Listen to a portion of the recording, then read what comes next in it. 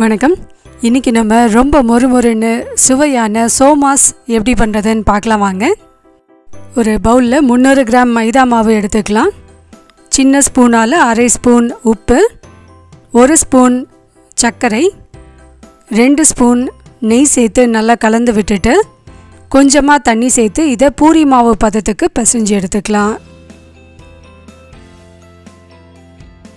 நெய் சேர்த்து நம்ம சோமாஸ் பண்ணும்போது ரொம்ப கிறிஸ்பியாகவும் இருக்கும். அதே சமயத்தில் நல்ல வாசனையாக டேஸ்டியாக இருக்கும்.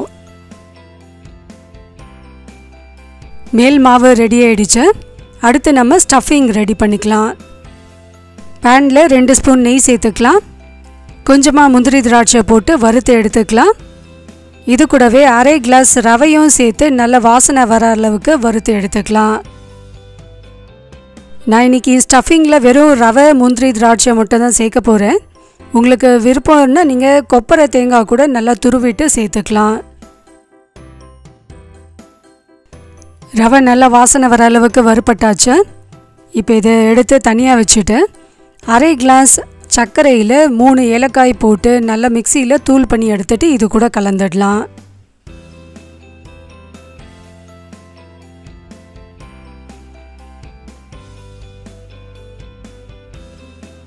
அரைச்ச சர்க்கரையை இந்த ரவை கூட சேர்த்து கலந்து விட்டாச்சு.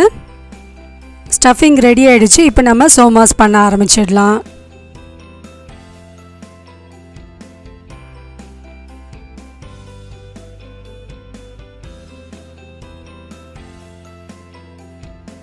இந்த மாவு ஊறணுன்ட்டு அவசியம் இல்லை. இதை நம்ம உடனே பண்ண ஆரம்பிச்சிடலாம். சின்ன சின்ன பூரிகளாக நமக்கு எந்த அளவில் வேணுமோ அந்த அளவுக்கு இதை திரட்டி எடுத்துக்கலாம். பூரிகளை திரட்டிட்ட பிறகு தோசைக்கல்லை நல்லா சூடு பண்ணிவிட்டு இந்த பூரிகளை அதில் போட்டு ஒரு தடவை மட்டும் லேசாக இதை திருப்பி போட்டு எடுத்துக்கலாம்.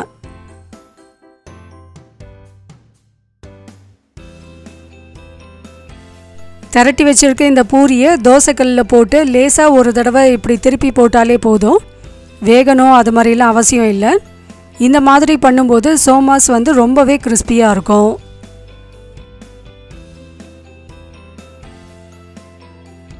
தவாவில் போட்டு எடுத்த பிறகு இப்போ நம்ம உள்ள ஸ்டஃபிங் வச்சுட்டு கொஞ்சமாக மைதா மாவில் தண்ணி கலந்து இதோட ஓரங்களில் தடவிட்டு இதை நம்ம ஸ்டஃப் பண்ணி வச்சிடலாம்.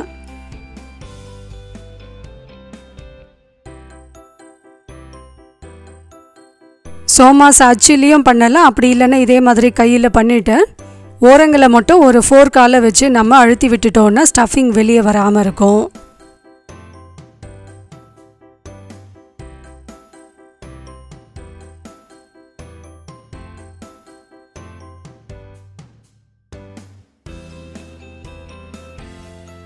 எல்லா மாவையும் இது மாதிரி ரெடி பண்ணி எடுத்துட்டு நம்ம இதை பொரிக்க ஆரம்பிச்சிடலாம்.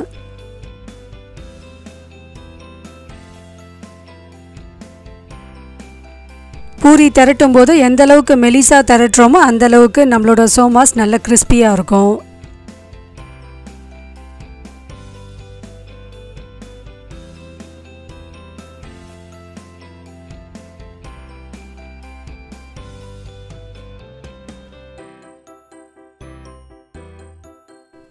எண்ணெய் நல்லா சூடான பிறகு அடுப்பை லோ ஃப்ளேமில் வச்சுட்டு நம்ம ரெடி பண்ணி வச்சுருக்க சோமாஸ்களை இதில் போட்டுட்டு லோ ஃப்ளேம்லேயே வச்சு இதை நல்லா பொன்னிறமாக ஆகிற வரைக்கும் திருப்பி போட்டு வேக வச்சு எடுத்துக்கலாம்.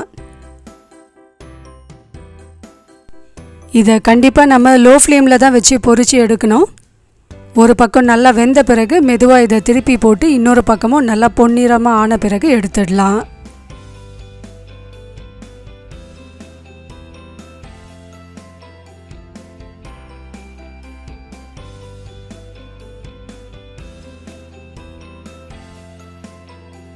ரொம்பவே மொறுமொறுன்னு சுவையான நம்மளோட சோமாஸ் ரெடி ஆயிடுச்சு.